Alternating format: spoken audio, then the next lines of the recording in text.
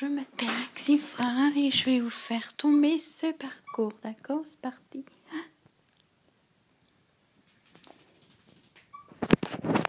Bravo. On va tous répéter ma...